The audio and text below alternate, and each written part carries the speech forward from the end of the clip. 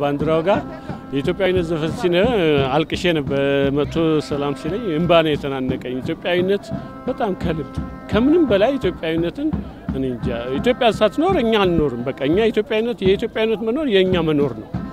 ስለዚህ ምንኛውም ነገር አድርገ መኖር የምችለው አገራችን ሰላም ስትሆን አገር ስትሆን ሰው ሀገር እኮ በሰው ሀገር እኮ የሆነ ነገር ብሶ ሲሰማ እኮ ወደ ሀገር ነው የምታለቅሰው። ስለዚህ እዚህ ሀገር ላይ ሆኜ ሀገር ላይ እንደዚህ ስትሆን እንዴት ኢትዮጵያዊነት እንዴት አይሰማኝ? በቃ ያለኝ ስሜት የተለየ ነው። በቃ እንዲነው የኢትዮጵያነት እስከምል ድረስ ማለት ነው። እና ኢትዮጵያነት ለኔ በቃ እኔ ምን ብዬ ልንገር፣ በቃ ከምንም በላይ ነው እና ኢትዮጵያ ታሸንፋለች። ይሄ መከራ ትወጣዋለች። ድል ለመከላከያ ሰራዊት እላለሁ።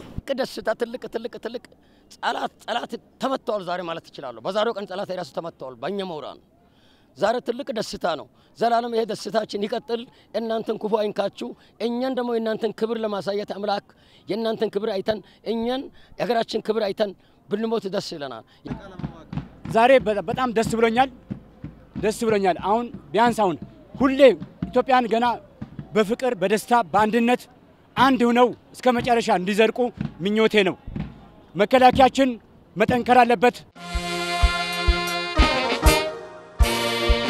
የሰው ዘር ትስስር ልዑላን መቁጠር ሁሉም ኢትዮጵያዊነት ለሀገር ዘብ መቆም አለበት። ሰራዊቱ እዛ ጠረፍ ላይ ደሙን ሲሰጥ አጥንቱ ሲከሰክስ፣ እዚህ ደግሞ ያለነ በላባችንን ጠብ ብለን ለነዛ ግንባር ላሉትን እርዳታ መሆን አለበት፣ ድጋፍ መሆን አለብን።